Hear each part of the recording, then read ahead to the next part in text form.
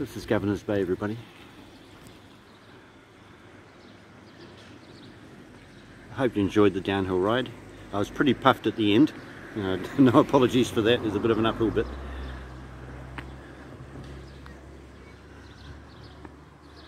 So it's quite nice here on the hills, you can see. It's a good pub.